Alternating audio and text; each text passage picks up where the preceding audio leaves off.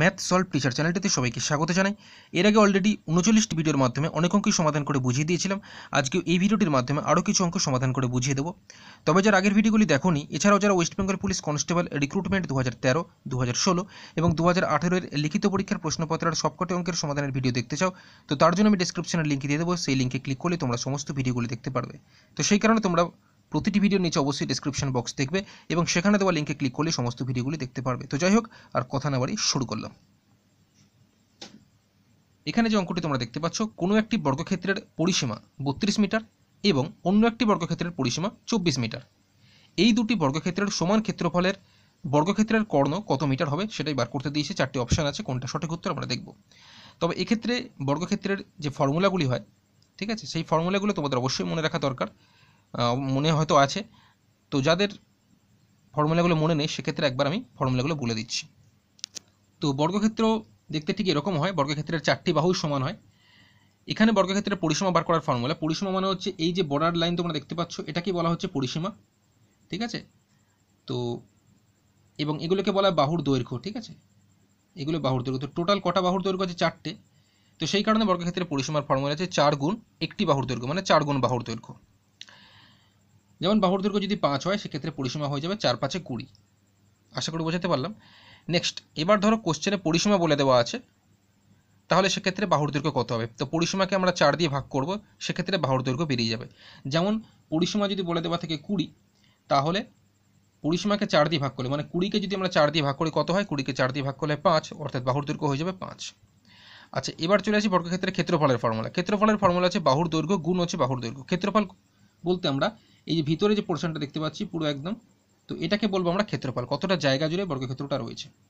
তো ক্ষেত্রফল বার করার ফর্মুলা বাহুর দৈর্ঘ্য গুণ বাহুর দৈর্ঘ্য। ধরো বাহুর দৈর্ঘ্য এখানে পাঁচ বলে দিয়েছে, তাহলে ক্ষেত্রফল হয়ে যাবে পাঁচ গুণ পাঁচ, পঁচিশ বর্গ একক। আচ্ছা কর্ণ বার করার ফর্মুলা বর্গক্ষেত্রের কর্ণ দেখতে পাচ্ছ, এখানে একটা কর্ণ হয় আর এখানে একটা কর্ণ হয়। টোটাল দুটো কর্ণ হয়, তো সেই কর্ণ বার করার ফর্মুলা হচ্ছে রুট টু গুণ বাহুর দৈর্ঘ্য। ঠিক আছে, তো যাই হোক, অঙ্কের মধ্যে ফিরে এলাম।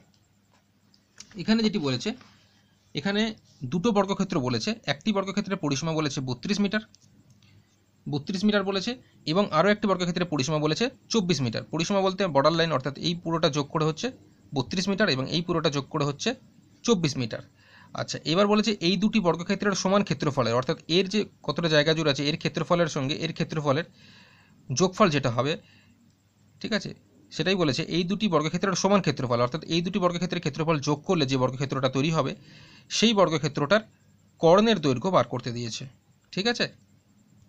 তো সেই কারণে আমাকে কিন্তু বর্গক্ষেত্র মানে যে দুটো বর্গক্ষেত্রের কথা এখানে বলেছে, সেই দুটো বর্গক্ষেত্রের ক্ষেত্রফল মানে দুটোরই বার করতে হবে। এখন ক্ষেত্রফল বার করার ফর্মুলা কি? বাহুর দৈর্ঘ্য গুণ হচ্ছে বাহুর দৈর্ঘ্য। এখন বাহুর দৈর্ঘ্য তো কোশ্চেনে বলে দেয়নি কোশ্চেনে বলে দিচ্ছে পরিসীমা। তো পরিসীমা থেকে আমাদের প্রথমে কিসে বার করতে হবে? বাহুর দৈর্ঘ্য বার করতে হবে। সেই বাহুর দৈর্ঘ্যটা জানতে পারলে আমরা ক্ষেত্রফল বার করতে পারব। ঠিক আছে? তো ফার্স্ট আমাদের কাজ হচ্ছে বাহুর দৈর্ঘ্য বার করা।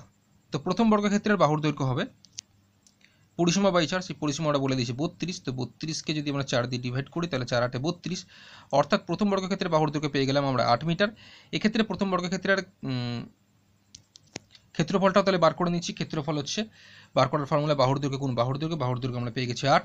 তার মানে আট গুণ আট যদি করি, তাহলে আট আটে চৌষট্টি বর্গ মিটার এটা গেল প্রথম বর্গক্ষেত্রের ক্ষেত্রফল, চৌষট্টি বর্গমিটার পেলাম। এবার চলে যাব দ্বিতীয় বর্গক্ষেত্রের পরিসীমা, কত বলে দিয়েছে চব্বিশ মিটার। তার মানে দ্বিতীয় বর্গক্ষেত্রের বাহুর দৈর্ঘ্য হবে।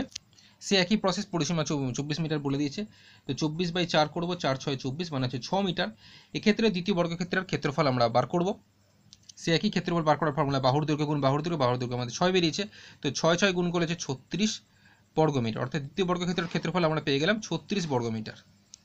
অর্থাৎ প্রথম বর্গক্ষেত্রের ক্ষেত্রফল আমরা পেলাম কত? চৌষট্টি। তো এই জায়গাটা আমি চৌষট্টি লিখলাম এবং দ্বিতীয় বর্গক্ষেত্রের ক্ষেত্রফল পেলাম কত? ছত্রিশ। এই জায়গাটা আমি ছত্রিশ লিখলাম। এবার এই দুটি বর্গক্ষেত্রের ক্ষেত্রফল, এর যোগফল যা হবে সেটাই হবে তৃতীয় বর্গক্ষেত্রের ক্ষেত্রফল, ঠিক আছে? তো এই দুটো যদি আমরা যোগ করি, চৌষট্টি আর ছত্রিশ, সেক্ষেত্রে একশো বর্গমিটার হয়, চৌষট্টি, ছত্রিশ যোগ করলে। এই যে একশো বর্গমিটার হলো, সেটাই হচ্ছে নতুন যে বর্গক্ষেত্রটা তৈরি হবে না, এই দুটো বর্গক্ষেত্র মানে সমান ক্ষেত্রফল যেটা হবে, যোগ করলে যেটা হবে, সেটা হচ্ছে নতুন বর্গক্ষেত্রের ক্ষেত্রফল। মানে একশো বর্গমিটার হচ্ছে নতুন বর্গক্ষেত্রের ক্ষেত্রফল। এইবার এই যে নতুন বর্গক্ষেত্রের ক্ষেত্রফল আমরা পেয়ে গেলাম একশো বর্গমিটার এই ক্ষেত্রে বর্গক্ষেত্রের কর্ণ কত হবে?